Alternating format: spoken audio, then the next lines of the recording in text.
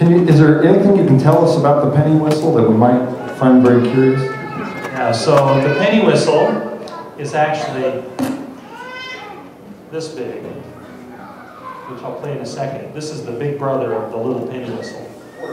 Yeah.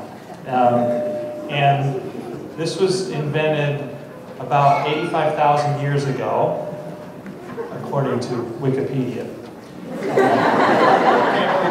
Can't believe everything you read. Um, and actually, it, was called the penny whistle. There was a guy named Clarke who started make these for a penny and sold them for a penny in England in the, around the 1840s. And so that's how the business started. Sold the little ones, not the big ones.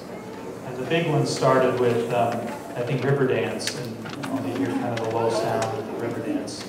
I'm just playing something very simple. And if it squeaks, it's because I'm not very good. This is a good instrument. I'm just not a, you know, I, I do my best. There's Amazing Grace and Old MacDonald on the penny on the quarter whistle.